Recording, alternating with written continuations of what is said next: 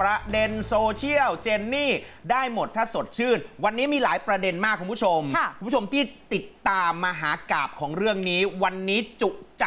แบบอิ่มๆแน่แน่นแน่นแน่นแน่นๆแน่นๆเลย ล่าสุดนะฮะ มันมีภาพคอนเสิร์ตที่โคราชที่ปากช่องนะฮะ คุณผู้ชมดูภาพแล้วจะตกใจ เพราะว่าทำไมเต้นกันขนาดนั้นทำไมกาดตกกันได้ขนาดนี้ คุณผู้ชมดูภาพสิฮะค่ะ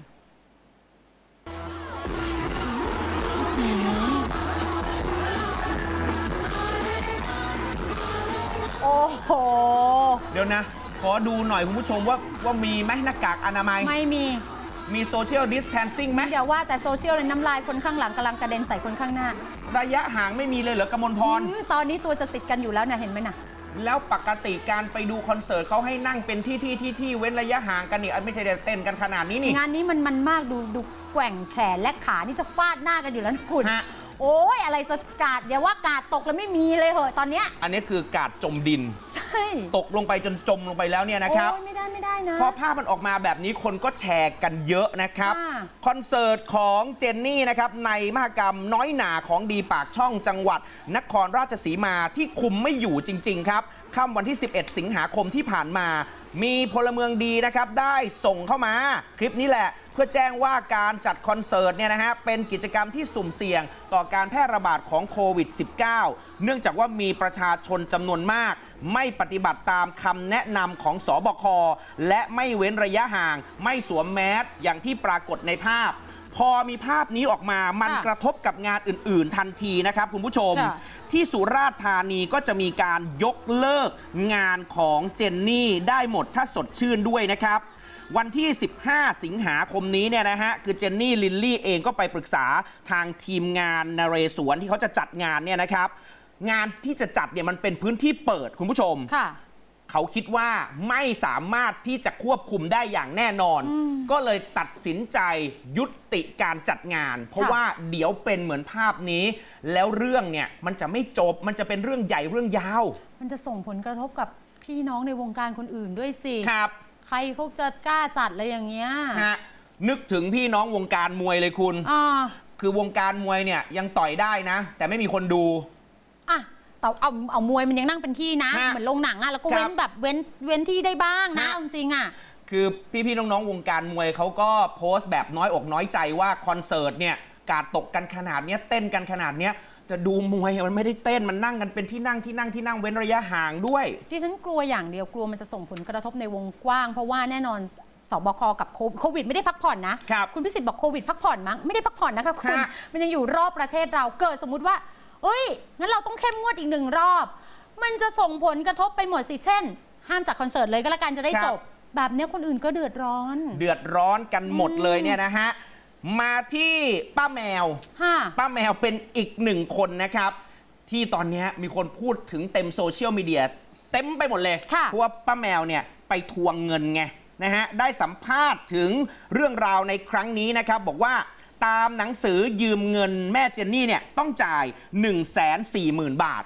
แต่แม่เจนนี่บอกขอจ่ายแค่ 1 0 0 0 0 0 บาท โดยฝากบอกมากับทนายด้วยนะฮะ แต่ยืนยันต้องจ่ายแสนสี่นะป้าแมวบอกก็ยืมไปแสนสี่ก็ต้องจ่ายแสนสี่จริงไหมใช่ค่ะ มันก็ต้องบวกดอกเบี้ยด้วยซ้อืมำไม่ใช่ว่ายืมแสนสี่และขอจ่ายแสนหนึ่งป้าบอกว่าอะแสนสองก็ยังดี เพื่อจะได้จบในส่วนของคดีความ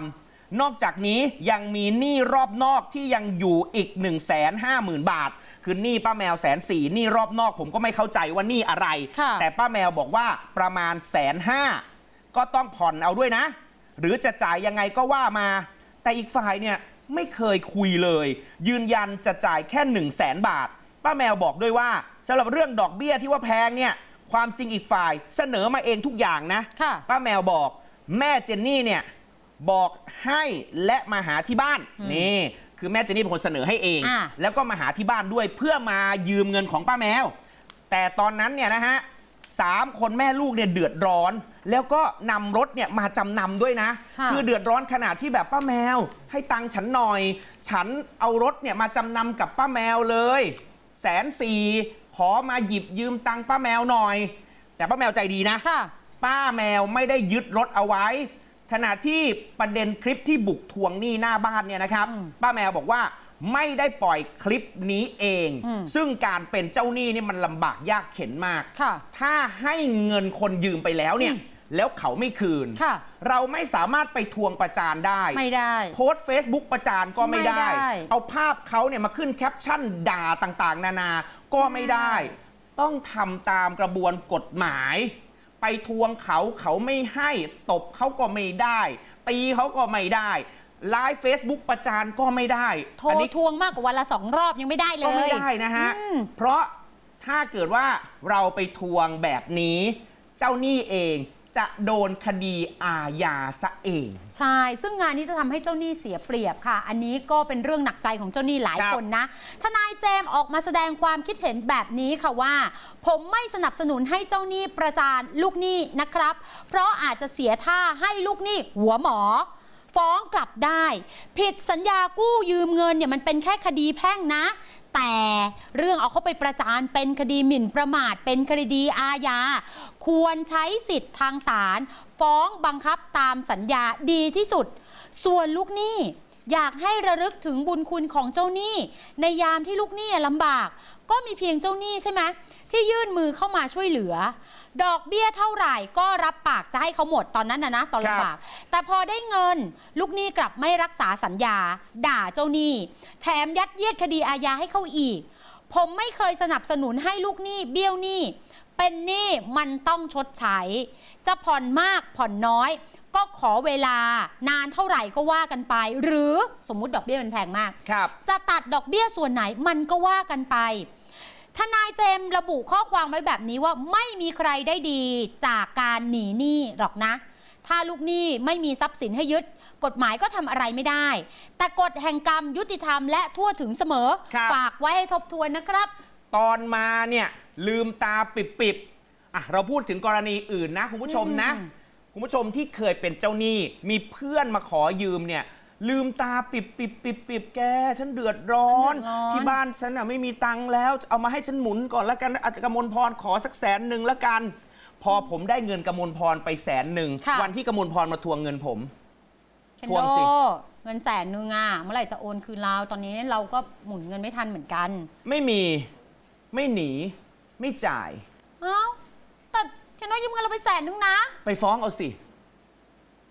ได้ด้วยเหรอ ประโยคอย่างเงี้ย มันเป็นประโยคคลาสสิกของลูกหนี้มากเลย ไม่มีไม่หนีไม่จ่ายไปฟ้องเอาสิ เพราะว่าถ้าไปฟ้องวันเดียวได้ไหมเงินอะ ไม่ได้นานด้วย โอ้โหนานมาแล้กวพอคุณถึผู้ชงมเวลานะ อาจจะมีการประนอมหนี้กันซึ่งเราอาจจะไม่ได้เงินต้นทั้งหมดก็ได้ ถูกต้องจะให้ใครยืมเงินเนี่ยคิดดีๆนะค่ะ ผมกับกมลพรเนี่ยสนิทกันขนาดเนี้ยไม่เคยยืมเงินกันแม้แต่บาทเดียวเพราะอะไรเดี๋ยวเสียเพื่อนถูกเดี๋ยววันหนึ่งผมต้องนั่งตรงเนี้ยคนเดียว เพราะว่ามันติดหนี้ผมแล้วมันไม่มาผมไม่ให้จัดด้วยหนีไงเออหนีด้วยหนีหนี่นะคะฮะซึ่งเรื่องนี้เนี่ยเป็นสิ่งที่หลายคนพยายาม คือก็เป็นผู้หลักผู้ใหญ่ในวงการคนที่เขาเห็นถึงความสามารถครับของ ค่ายได้หมดถ้าสดชื่น เห็นถึงความสามารถศักยภาพ และฝีไม้ลายมือของเจนนี่ได้หมดฮะถ้าสดชื่น แต่มันก็มีเรื่องบางอย่างที่ทำให้น้องอาจจะไปไม่ได้ไกลกว่านี้ ผู้หลักผู้ใหญ่ในบ้านเมืองถ้าเขาไม่เห็นนะนะ ที่อยู่ในวงการอะเขาไม่ออกมาเตือนหรอกถ้าเขายังไม่เมตตาไม่ใช่เสียงจากติ่งโซเชียลอะถูกไม่ใช่เสียงจากเกรียนคีย์บอร์ด คนแรกที่เปิดเรื่องนี้นะ แล้วเตือนดังมาก ๆ เลยว่าเจนนี่เนี่ยอย่าไลฟ์สดในการแก้ตัวเองอืมให้แถลงก็คือหนุ่มกัญชัยกับมดดำถามว่าน้องฟังไหมอืมน้องก็ยังไลฟ์สดอยู่เนี่ยนะฮะ หนุ่มกัญชัยก็เตือน มดดำก็เตือน พี่เอกชัยก็เตือนโอ้โหพี่แคนดี้รากแก่นก็เป็นศิลปินรุ่นพี่ก็เตือน พี่แพทก็เตือน พี่พิมพ์ริพายก็เตือนแรงแรงๆพี่ตะนารากรผู้ประกาศชื่อดังรุ่นใหญ่ก็เตือน พี่อุ๊บวิริยะนักปั้นมือทองก็เตือน แม่ลีน่าจังเน็ตไอดอลชื่อดังก็เตือนค่ะน้องรถเมย์ก็เตือน ใช่ แทบจะครบทุกวงการอยู่แล้วฮะทนายแจมบอกคนทักแท้ๆยังไม่หยุดเอียงว่ะกำบังตาโดยแท้ทนายในสายหมอกอบไอน้ำรอแป๊บคือเราเน้นย้ำไอ้ตรงเนี้ยว่าน้องต้องฟังเพราะว่าแต่ละคนที่เราเนี่ย เอ่ยชื่อมา คือคนที่มีเครดิตในสังคมทั้งนั้นเลยอืมเป็นคนดังอะ่ะค่ะ ถ้าเตือนอย่างเงี้ยน้องต้องฟัง ฟังแล้วทำตามหรือเปล่าไม่รู้นะอืมแต่ต้องฟังแหละ เพราะว่า 10 คนลุกขึ้นมาพูดในแบบเดียวกันเลยเนี่ยนะครับ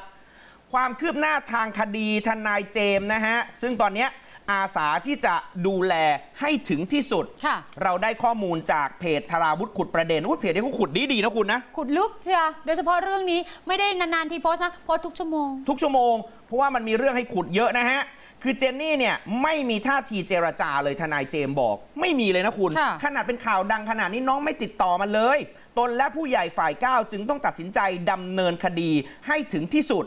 ทั้งกรณีส่วนแบ่งรายได้จาก YouTube รวมถึงนะฮะกรณีโกงค่าตัวออกรายการด้วย โดยขณะนี้อยู่ระหว่างการรวบรวมข้อมูลหลักฐาน ซึ่งคาดว่าในสัปดาห์นี้เนี่ยก็จะมีการเดินหน้าและคดีก็จะเป็นรูปธรรมมากยิ่งขึ้นด้วยนะครับทนายเจมส์บอกด้วยว่าสำหรับกรณีส่วนแบ่งรายได้ยอดวิว YouTube เนี่ยนะฮะจะดำเนินการตามขั้นตอนแบบนี้ค่ะ1คือฟ้องเรียกส่วนแบ่งตามข้อตกลง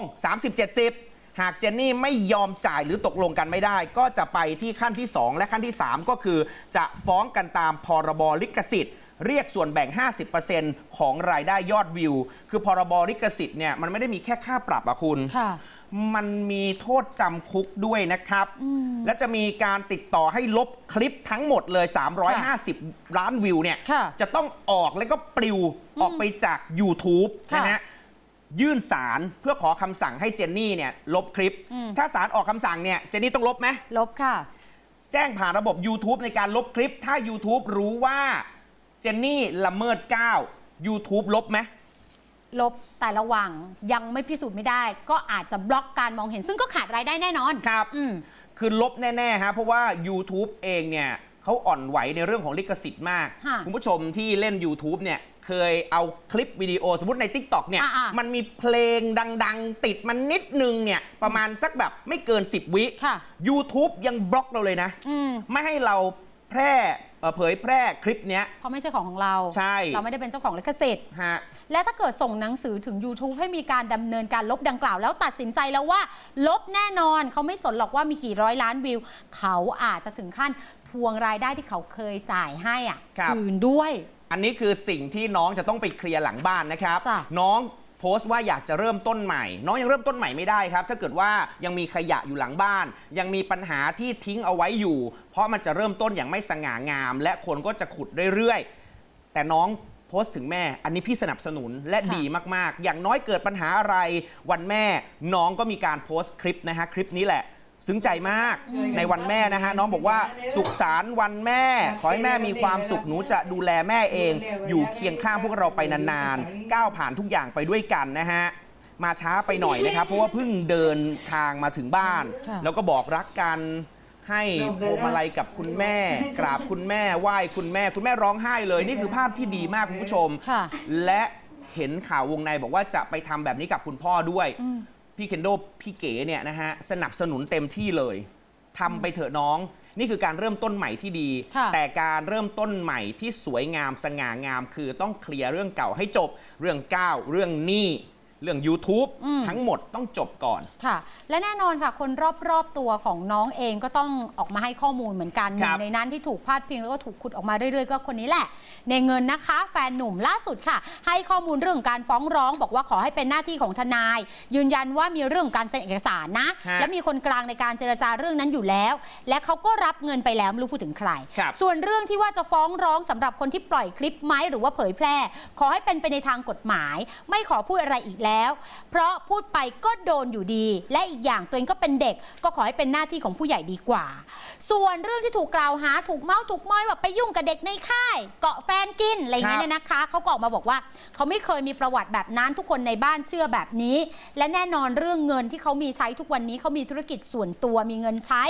ไม่เคยคบเจนนี่เพราะเงิน เพราะเขาทำงาน เอาแค่ค่างาน ผมไม่เคยขอเงินเจนนี่ใช้เลย ผมสะสม ผมทำธุรกิจเล็ก ๆพ่อแม่ดูแลบ้านเลี้ยงไก่ไข่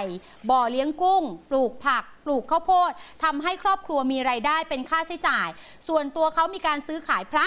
ซื้อขายไอ้ไข่ที่เป็นรายได้อยู่แล้ว เขาบอกว่าส่วนตัวผมอยู่สบายอยู่แล้วครับอืมอันนี้เป็น